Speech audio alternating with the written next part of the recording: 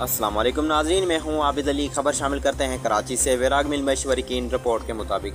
कराची मौसमियात के करीब कायम रूफी पैराडाइज शॉपिंग मॉल में दुकानदारों के दो फिरके, इमाम बख्श अबड़ो और मोहम्मद हुसैन बुरडो के माबिन होने वाले झगड़े का सिंध अवामी सतह के मरकजी रहनुमाओं। मेयर डबई और रियाज हुसैन कमेटों की सरपरस्ती में फैसला करके सलाह कराई गई।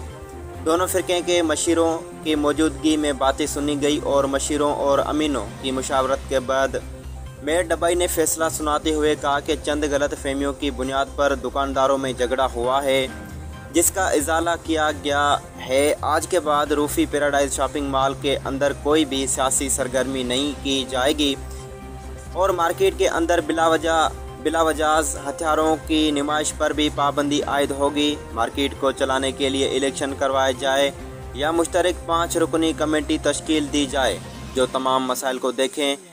और इमाम बख्श अबड़ो का नुकसान हल्फिया बयान के बाद मोहम्मद हुसैन बुरड़ो देने का पाबंद होगा।